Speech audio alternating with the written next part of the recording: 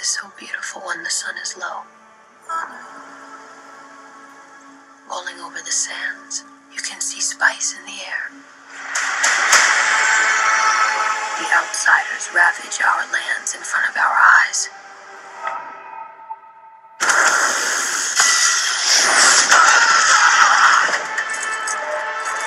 Their cruelty to my people is oh, all I've God. known.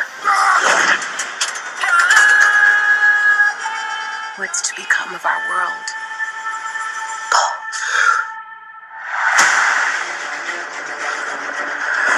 A boy. Hey, Duncan, can I trust you with something?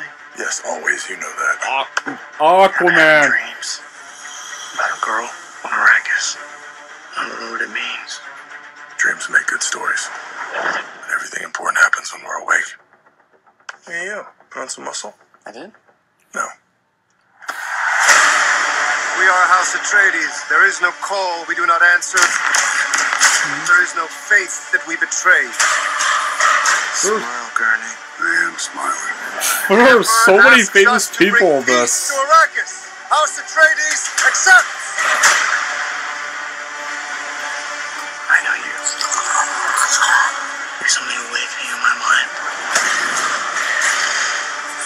You need to face your fears.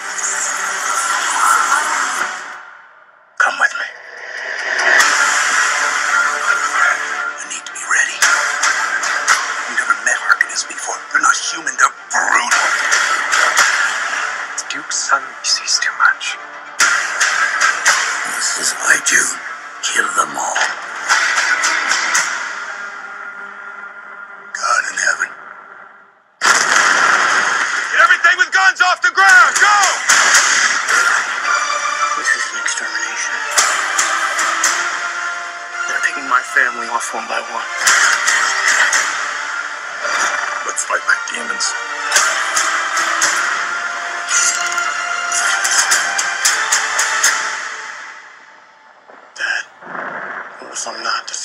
House Atreides? A great man doesn't seek to lead. He's called to it. But if your answer is no, you'll still be the only thing I ever needed you to be. My son. If anything happens, will you protect Paul? With my life.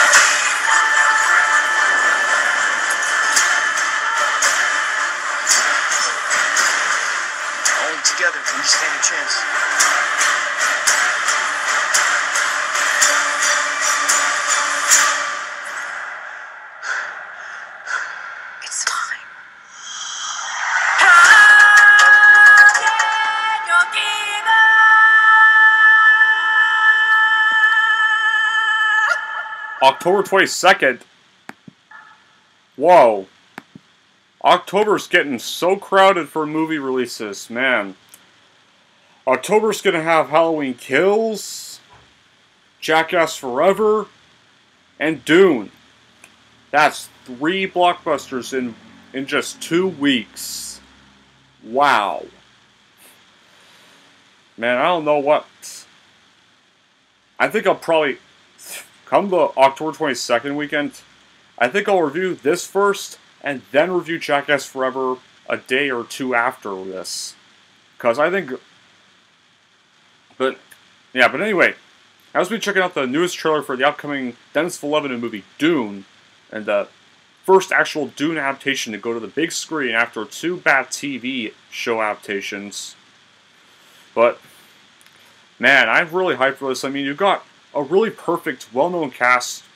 This you've got you got Zendaya, got Dave Bautista, got Oscar Isaac, got Josh Brolin, got Jason Momoa, Rebecca Ferguson.